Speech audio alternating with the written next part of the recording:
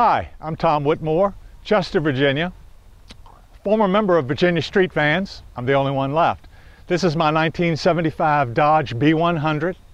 I have had it since 77. My best friend bought it in 75 brand new. We all built it together. And when he decided to go to a four-wheel drive, I said, this will be mine. And it has been ever since.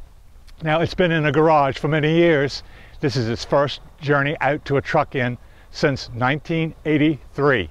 1983, Cumberland, Maryland Van Fest was the last truck in that this was at. This is uh, appropriate because this is the first Vanner, East Coast Vanner Nationals, and she has made her debut again. She's got a 318 engine. She's got hooker headers all the way out to the chrome pipes. Underneath, she's got chrome oil pan, transmission pan, sway bars, traction bars, got a Dana 60 chrome, and it's a 271 rear. So she's a highway star as far as travel. Now, the paint job was just completed in February. The gentleman that did it, which was New Visions out of Chester, Virginia, he had it for seven to eight months. He took it completely apart, and while the body work was already done from before, he renewed it, refreshed it, and put this beautiful paint job on it. Now, the paint, the pinstriping, the ghost flames, and the bird on the rear, and the wildfire logo on the back were done by the Riddle family. Uh, Danny Riddle is the elder gentleman who does the pinstriping mostly, and his son Jimmy did the Ghost Flames and the Bird, and they did a great job with it. And then Nelson Cunningham at New Visions, of course, completed with the clear coats and all that kind of stuff. Starting with the front of Wildfire, we have uh, 70 Chevelle marker lights. We have a flare kit. I'm not sure who did the flares. It's been so long ago. The mirrors are off of a 1976 Plymouth Arrow GT. The door handles come off of either a Cuda or Challenger back in the 70s. The, uh, as I said before, the hooker header side pipes are all the way to the engine. We have the true spoke wheels, BF Goodrich radial TA tires. We have a Gerlich visor. We have the Odyssey wing, and of course the uh, necessary Dodge Charger gas cap. All right, the front end, as you can see again, uh, pinstriping by Danny Riddle. We have a Stoll grill. These are 76 Monte Carlo headlights with halogen bulbs in them now, LED halogens. We've got uh, the Arius fog lights, driving lights from way back when, so that's still there. And like you said, you had the visor, okay? Got the garlic visor on top. Now, so that my wife would not get her legs burned on these wonderful side pipes, I had the pinstriper put hot. So every time she opens the door to step out, she has a reminder. There and so far, it's been so good. Well, that's good. Yeah, that, uh, you could definitely leave some skin on them. You know it. You know it. On this side, again, we have the same mirrors and the door handles, but we have the hinges have been chromed. The door knobs, of course, removed from the van, smoothed over. And we have the Odyssey wing again, and again the 70 Chevelle marker lights. Now in the rear, we have the Dodge original one-piece door that still has the window behind the metal. We took the license plate off the door, the door handle. That is a 1976 Dodge pickup truck bumper that took the license plate down there. We have 1970 Chevelle tail lights and chrome hinges, and we have the pinstriping again by Danny Riddle. Yeah, and, And you can see the- the uh, Frenched in. Yes, Frenched in tail lights. Nice. Yes, indeed. And there's the bird on the back of Wildfire. There, this way a little bit. There we go. Oh, All right, and now we'll take a look at the inside of Wildfire. This is the original 1975 interior. Nothing has been changed. The shag carpet is black shag that came from 1975.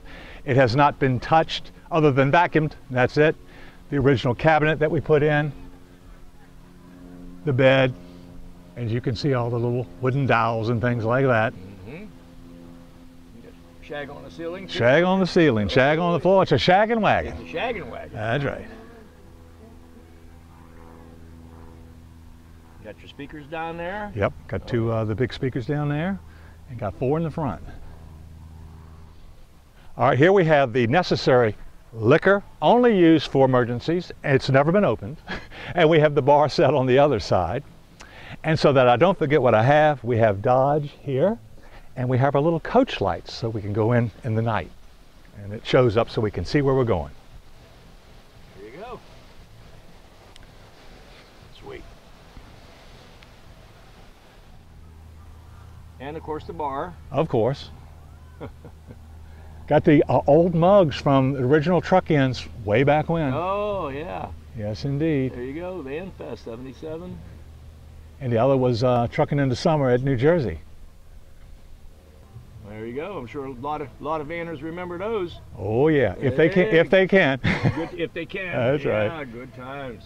and we have the console. It's got the uh, it's got the gauge for the uh, spare battery and a clock, and I've got lighting. The CB is up there, although I'm not using it anymore. I have a connection for my phone up there now, Mm-hmm. and uh, of course your driving lights and the lights that light up underneath the van. All the controls are all up in there. All original from now. The gauges I changed out, but as far as the console goes, that's all original from the early days. Mm-hmm. Okay, you got the obviously the chrome steering wheel and the chrome. We have a chrome steering column. Yep. The brake pedal is also chromed as well as the accelerator pedal. Is all chromed all the way down, including the bezel.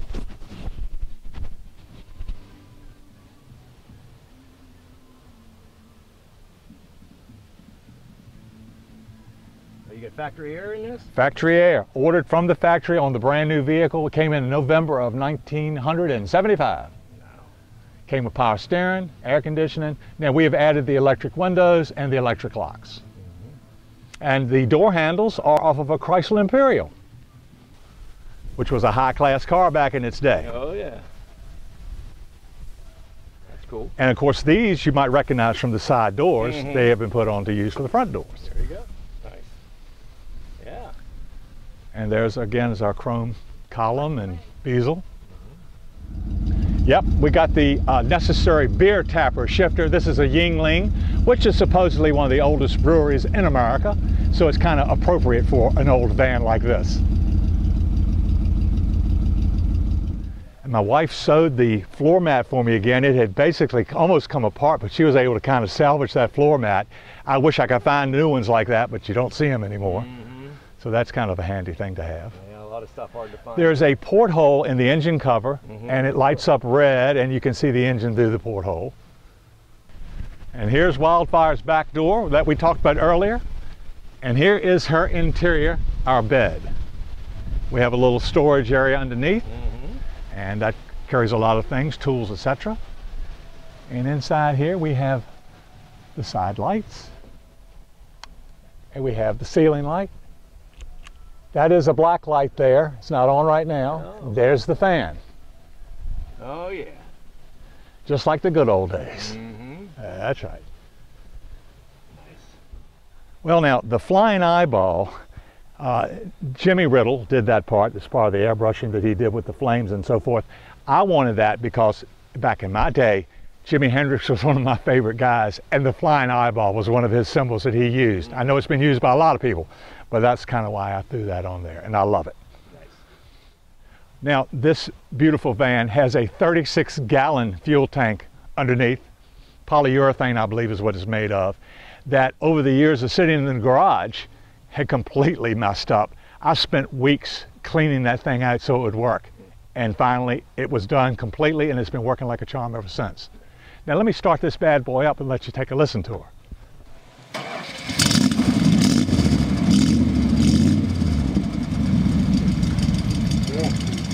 Wildfire, baby, wildfire. And listen, you people who are thinking about getting vans, you ought to do it because it's the time. We want to live these wonderful days again. We're here at this truck in having a great time. Maybe you guys want to join us, try to get a van and come to see us, man. We're all one big family. Keep on trucking, brother.